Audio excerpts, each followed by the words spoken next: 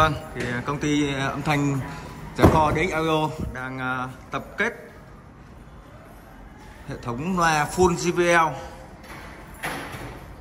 đồng bộ và hệ thống đèn chiếu sáng để chuẩn bị thi công cho hội trường sảnh chính hội trường A Đại học UTech.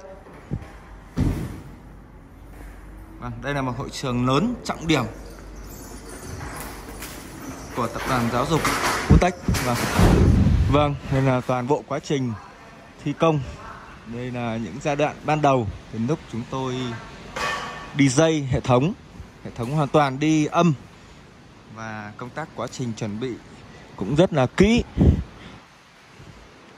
Tất cả các ống âm, chuột gà, âm trên phong cũng chúng tôi đều đi rất là tỉ mỉ, chống chuột, chống cháy. Trong quá trình thi công thì mọi thứ đều được đảm bảo rất khắt khe. Cả bàn ghế phải phủ bạt lại để tránh bụi bẩn ảnh hưởng đến uh, hiện trạng. Cũng như là những cái phương pháp đảm bảo an toàn lao động. Đây thì hiện tại chúng tôi đã thi công xong phần khung chớp treo.